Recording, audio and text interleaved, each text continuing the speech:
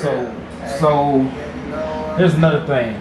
Rap beef. Well, how y'all feel about that, man? Like, you know what I'm saying? Did y'all involve it? If y'all you haven't been involved in it, or is this like? I mean, how- shit, we had no bullshit, but like, you know, shit, you got be a big man and walk away from shit like that. You know what I'm saying? Niggas be hating like a bitch, you know what I'm Yeah. saying? Niggas ain't coming how we come. I'm just putting it at that. I ain't even, I don't even really want to talk about that shit. but Type shit. That shit ain't nothing to us. You know what I'm Yeah, saying? We just sit back niggas know what's up too. Type shit. You know, so I feel you. Uh, you know, that's really how you know. You gotta keep it, you know, it's low, low key. You know what I'm saying? The street shit. You know, shit, I, I try to tell ran artists. beef. You know what I'm saying? Gonna get money. and Eat.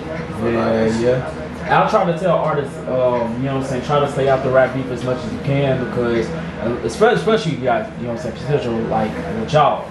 Um, it's more, I want y'all to focus more on y'all music than, than that shit, you know what I'm saying, the extra shit that comes along with the street shit, which I understand, you know what I'm saying. You know, I'm from that, so I understand how it goes, but you want to elevate, Yeah. not just as a human being, as, as men, you know what I'm saying. Don't so, stay out there, you know what I'm saying? Type shit. Nah, yeah, for sure, sure.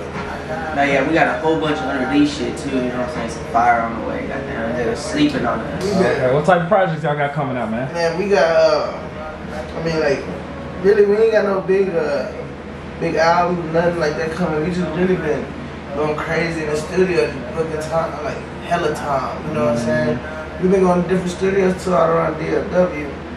We see who, like, really just trying to get our name out there doing shows and shit. But These shows, you know other than that, we ain't really got nothing big coming out yet. But we got a lot of work. Like, we got hella songs, hella unreleased shit. We just gotta push that shit.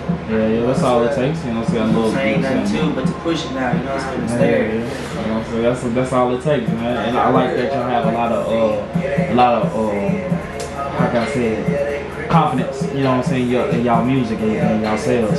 I like that about y'all.